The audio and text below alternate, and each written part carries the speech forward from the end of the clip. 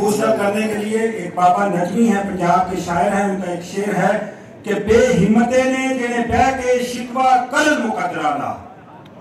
बेहिम्मते ने जिन्हें बह के शिकवा कल मुकदरा ला। उगड़ वाले उठ बंदे ने सीना पाड़ के पत्थरा दा मंजिल के मथे के उत्ते, तख्ती उन्होंने लगती है। मंजिल के मथे के उत्ते दी है जेने कहो बना के टुरते ने, नक्शा अपने सफ़र बच्चों, नक्शा आपके सामने है, और तख्ती लग चुकी है, अब आप लोगों ने हिम्मत करनी है, और बड़ा हिम्मत लोग कभी हारा नहीं करते, बाहिम्मत लोग कभी हारा नहीं करते, या वो जीत जाते हैं। या फिर कुछ सीख जाते हैं। बहुत शुक्रिया अपनी शख्सियत को मैं बुलाना चाहता हूँ। थोड़ा सा पोस्टर करने का मकसद ये है कि हमारे महबूब लीडर और नौजवान भी हैं हाईली क्वालिफाइड भी हैं हमें फख्र है कि हमने उनको वोट दिया और माशाल्लाह हमेशा कौम की बेहतरी की बात करते हैं लोगों के लिए प्यार, मोहब्बत निछावर करते हैं। मैं चाहता हूँ उनको स्टेज पर बुलाऊं, एक शेर अर्ज़ करता हूँ कि दुनिया उत्ते रख फकीरा, ऐसा बैन खिलौन। दुनिया उत्ते रख फकीरा, ऐसा बैन खिलौन। तू आवे ते हसन लोगी तो जावे ते रोना। आपकी तारीफ़ की में federal minister planning development and reform मोहतरम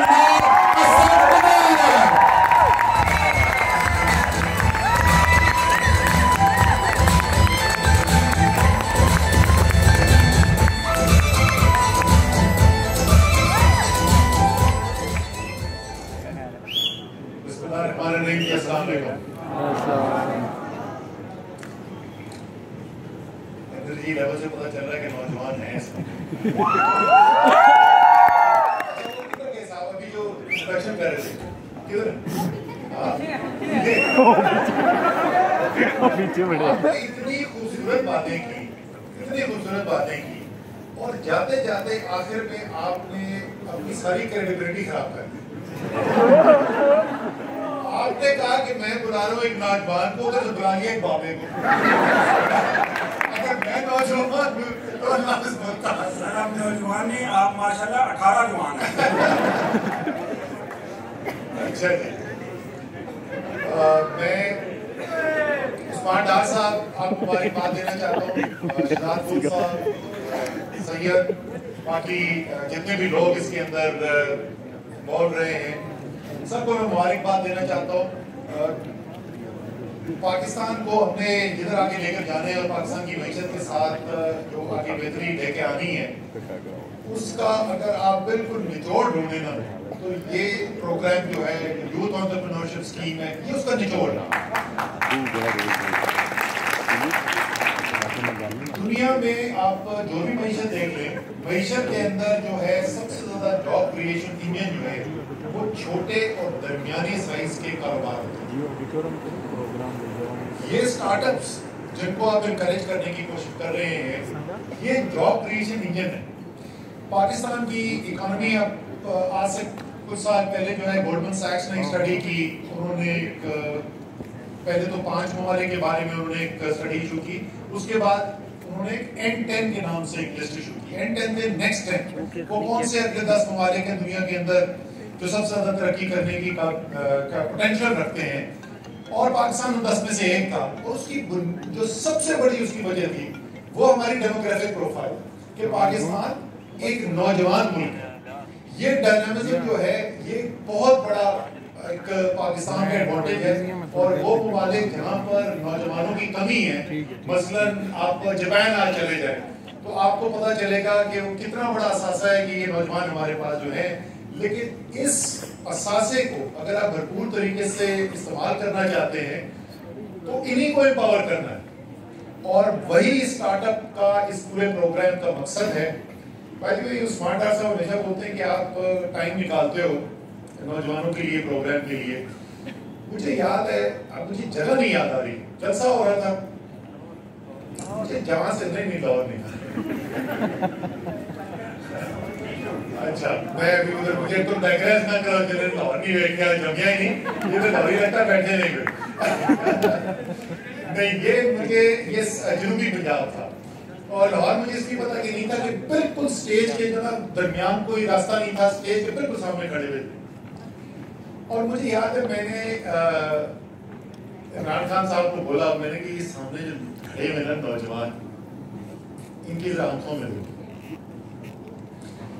और इनकी आँखों में वो उम्मीद देखो जो तुम्हें देख के इनकी आँखों के अंदर वो मकसद है सारी इस सियासत का, इस जदोजहद का, इस मेहनत का। तो आप तो मकसद है जिसके लिए हमने ये सारी काम किया आपको कैसे ये तो असासा है, ये नौजवान जो है, ये जो पोटेंशियल है, ये पूरा पोटेंशियल ये स्टार्टअप का जो सारी दुनिया बात करती है, पाकिस्तान के राजेश आपने कहा, इक्यासी इनक्यूबेटर्स और ग्यारह एक्सेलरेटर्स आपने कहा दुनिया की बड़ी बड़ी कंपनियाँ भी हैं। आप इनसे अगर आप बात करेंगे तो एक लफ्ज आपको बहुत सुनने को मिलेगा। और वो ये है इकोसिस्टम नहीं डेवलप हुआ। और बुनियादी बात ये आपको समझने की है कि कोई एक इसका हिस्सा नहीं है जिससे कामयाबी हासिल होती है। वो तमाम चीज़ें जब आकर मिलती हैं तो उससे कामयाबी होती है और यही इस स्टार्टअप प्रोग्राम के डिज़ाइन का बुनियादी मकसद है। वो इकोसिस्टम को नेटवर्क क्रिएट करना स्किल्स के बगैर नेपटेक के बगैर ये काम नहीं हो सकता। लेकिन सिर्फ़ नेपटेक से भी नहीं हो सकता। फंडिंग के बगैर ये काम नहीं हो सकता, लेकिन सिर्फ़ फंडिंग से भी नहीं हो सकता एंड सो सो फॉर तो ये जब तक सारे एलिमेंट्स इसके एक साथ आकर यकजा नहीं होते और यही मकसद इस प्लेटफॉर्म का, और मुझे यकीन है कि जिसमें, जिस तरीके से हम काम करते रहेंगे, इसके अंदर लर्निंग्स आती रहेंगी और आपको फ्लेक्सिबल रहना पड़ेगा, आपको इस सिस्टम को। और ये अच्छा आइडिया कि सॉफ्ट लॉन्च करके यहाँ से शुरू कर रहे हैं। बड़ा आपने अकलमंदी का फैसला किया कि स्टार्ट भी आपने इस्लामाबाद से किया, वो मुझे ठीक लग रही है उस्मान डाल सारे काम से शुरू किया करो। अच्छा लेकिन लर्निंग जो है, वो आप दूसरे शहरों के अंदर भी लेके जा रहे हैं। लाहौर भी आ रहा है। परेशान ना होते लाहौर जो बैठे परेशान ना हो जाए लाहौर भी आ रहे हैं। सो ये बाकी शहरों के अंदर भी लेकर जाएँगे और वहाँ से जो लर्निंग होगी, उसके साथ फिर उसको फाइनलाइज करके किसी ने ज़िक्र किया था, अभी शुरू की प्रेजेंटेशन में कहीं ज़िक्र हो रहा था। कि अप्रोच क्या होनी चाहिए डेवलपमेंट ये मेरा बड़ा पुराना फलसफा है। एंग्रो में जिन्होंने काम किया है, वो सब जो है, ये सुनते रहे मेरी बात। बुनियादी तरीके का काम करने का कोई भी जो बड़ा काम करने के लिए जा रहे हैं इट इज़ थिंक बिग बड़ा सोचो। स्टार्ट स्मॉल छोटे से स्टार्ट करो and then scale up rapidly तो आपने भी यही अप्रोच लेनी है, और इन नौजवानों ने जो अपने कारोबार शुरू करने उसमें भी यही अप्रोच लेनी है। क्योंकि मैं आपको बताऊँ मैं कोई पाँच या छह मुख्तलिफ़ ग्रास रूट से नए कारोबार शुरू करने के अंदर, मुख्तलिफ़ कैपेसिटीज के अंदर इन्वॉल्व हूँ आप जितना मर्ज़ी होमवर्क कर लें, जितनी मर्ज़ी स्प्रेडशीटें बना लें, जितनी मर्ज़ी रिसर्च कर लें। जब आप काम इंप्लीमेंट करना शुरू करेंगे तो आपको नई चीज़ें आपके सामने आएँगी जो आप नहीं पहले सोच सके थे। इसलिए तरीकेकार यही है कि एक बड़ा डिज़ाइन हो इंप्लीमेंटेशन छोटे से करें पायलट प्रोजेक्ट का भी लफ्ज इस्तेमाल किया जाता है और उसके बाद उधर से सीख के उसको फाइन ट्यून करके फिर आप जाए। लेकिन मॉडल ऐसा होना चाहिए जिसमें ये कैपेसिटी हो कि उसको रैपिडली स्केल अप किया जा सके। एंड दैट इज़ व्हाई इस डिज़ाइन के अंदर भी जो रैपिड स्केल अप की अपॉर्चुनिटी है, वो मुझे खुशी हुई देखकर हम 10 लाख नौजवानों की एंटरप्रेन्योरशिप के अंदर ट्रेनिंग की बात कर रहे हैं। इनका टारगेट है दस हज़ार स्टार्टअप क्रिएट करने का।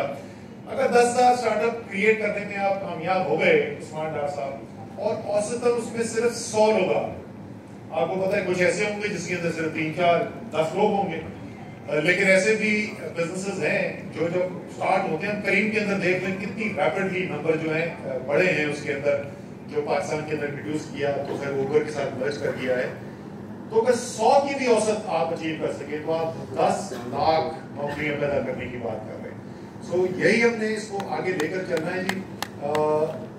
आखिरी एस्पेक्ट जो मैं इसकी बात करना चाहता हूँ, आपने एक और भी ब्रिज कर रहे आप नौजवानों से बात करें, उनके पास आइडियाज़ हैं, वो कहते हैं, हमें पैसा नहीं मिलता अपना काम करने के लिए। क्योंकि नौजवानों, ऐसा ही है? यस सर ये मैं पॉकेट मनी वाले पैसे की नहीं बात कर रहा हूँ कारोबार के लिए अच्छे आइडियाज़ भी हो तो पैसे नहीं मिलते। आपको मज़े की बात बताऊँ कि इस वक्त जो पाकिस्तान में जिन्होंने प्राइवेट इक्विटी और वेंचर कैपिटल स्टार्ट करने की कोशिश की है आप उनके पास जाके उनसे पूछो तो बोलते डील्स नहीं मिलते। सो दोनों तरफ़ को कनेक्ट करना जो है ना वही networking will play absolutely critical role इसके अंदर इसको आप जहन में लेके चलेंगे तो इन ताला आपको कामयाबी होगी।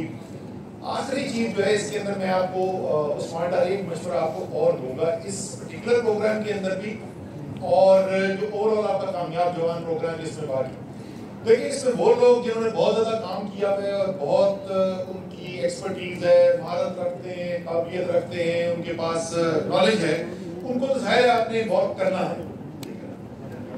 लेकिन ये डिज़ाइन के अंदर बिल्ड करेंगे जो भी काम करना है, उसकी डिज़ाइन के अंदर सिर्फ़ इम्प्लीमेंटेशन के अंदर नहीं बेनिफिशियरी सिर्फ़ नहीं, उसकी डिज़ाइन के अंदर आपने नौजवानों को इन्वॉल्व करना क्योंकि इन दी एंड जिसके लिए आप काम कर रहे हैं आज एक मीटिंग हो रही थी वजी आज़म के साथ तो वहाँ पर एक साहब बैठे थे, उन्होंने कहा कि हमें रिसर्च करने की ज़रूरत है, और रिसर्च से हम पता करेंगे कि मुख्तलिफ़ किस्म के पाकिस्तानी जो हैं, उनको क्या मसाइल हैं।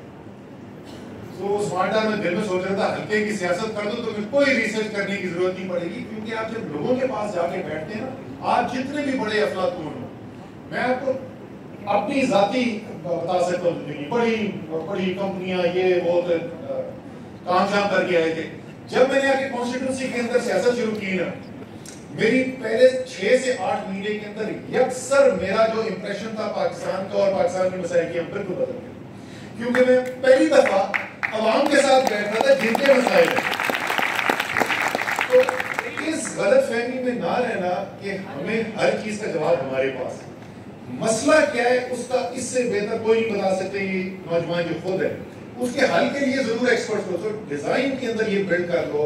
हर जो स्टेयरिंग कमेटी बनाओ, जो प्रोजेक्ट की डिज़ाइन टीम बनाओ, उसके अंदर नौजवानों को इन्वॉल्व करो। आदिल साहब ने स्टडी लीड की थी यूएनडीपी के लिए मैं भी उसके अंदर हिस्सा था, उसका आज से कोई दो तीन साल पहले वो की गई थी। और जब उन्होंने पाकिस्तान के नौजवानों से बात की तो सबसे बड़ा गिरा नौजवानों को ये था कि हमारी बात नहीं सुनी जाती। और ये गिरा किससे है? ये गिरा मेरी जनरेशन से है, जिसने बड़ा अलग कर दिया पाकिस्तान को। तो मुल्क का जिसने बेड़ा किया हुआ है वो नौजवानों की बात नहीं सुनना चाहता कि हमारे पास हमें सब पता है सब पता पहले ठीक कर लेते आप। तो खुदा का वैसे इनकी बात सुना करो। ठीक है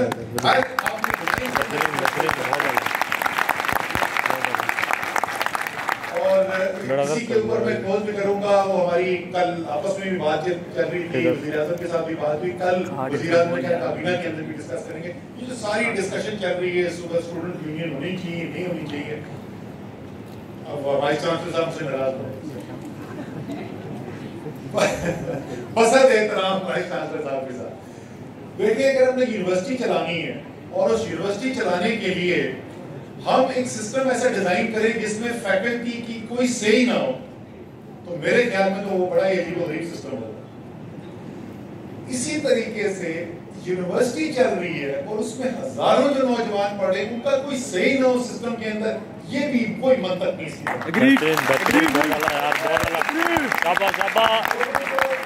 अला लोगों को परेशानी होती है कि जी स्टूडेंट पॉलिटिक्स के अंदर वायलेंस होती है इसमें कोई शक नहीं। मैं तो जमाने का हूँ जिस वक्त यूनियंस थी पॉलिटिसाइज यूनियंस थी और हमने वो वायलेंस देखा हुआ है। हमारी तो नज़रों के सामने गोलियाँ चली रही हैं। लेकिन स्टूडेंट्स यूनियन बैन कर दी तो क्या वायलेंस खत्म हो गया? Violence was not because students unions के पास ये इख्तियार था, एक तो नौजवानों के पास ये इख्तियार कि मेरी नुमाइंदगी कौन करेगा? अरे वाइस चांसलर साहब, हर एक के, हर बच्चे के घर पे बुआ खड़का के नहीं पूछ सकते कि अच्छा जी तू बता तेरी क्या रजा है? हर एक की खुदी तो नहीं इतनी बुलंद हुई। तो वो कौन होंगे वो कौन होंगे जो नुमाइंदगी करेंगे, उसको खुद मुंतखब करें? और उसके बाद उन नुमाइंदों की राय शामिल करके मुशावरत शामिल करके आप अफेयर्स कन्वर्ट करें, ये मंतकी चीज़ है। तो इसको हमें करना चाहिए। उसके अंदर बिल्कुल सिस्टम ऐसे डिज़ाइन करें, यहाँ पे ऐसा ना हो कि कल खुदा खासा असला आ जाए, कोई राय झगड़ा हो यहाँ पे।